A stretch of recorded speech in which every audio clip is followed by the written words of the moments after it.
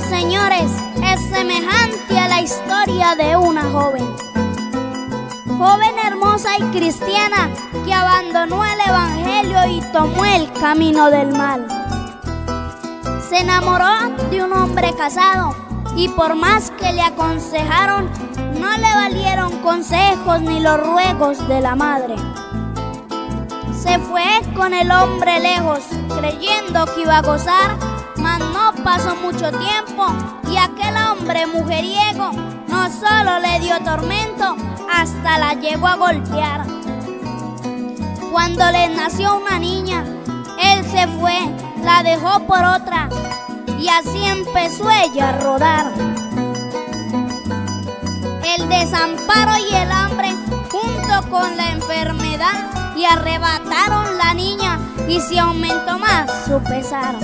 Desesperada y sin fuerzas, un día se quiso matar cuando le vino a la mente el recuerdo de su hogar.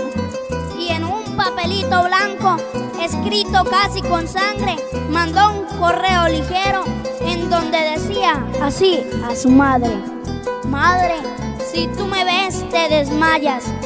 Madre, no quise oír tus consejos y aunque ya casi me muero, sé tus manitas tiernas acariciándome el alma me harían revivir de nuevo, darían sosiego a mi alma.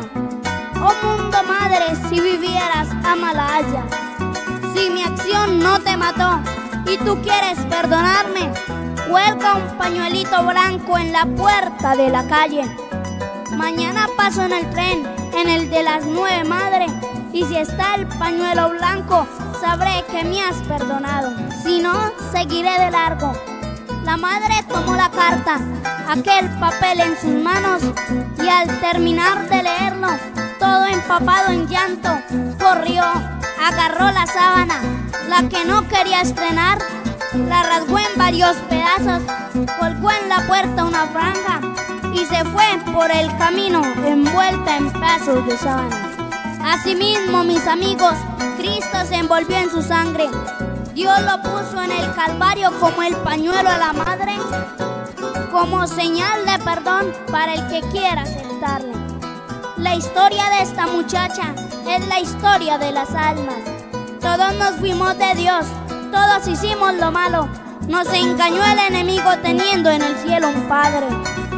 Hoy hay un glorioso mensaje resonando por las calles. Es una carta de Dios ofreciendo perdonarte. Si alguien se siente abatido, va llorando inconsolable, Cristo es el mejor amigo, Él es el camino al Padre. No dejes que esto termine, este mensaje inmutable, quiera Dios los ilumine con su amor inmensurable.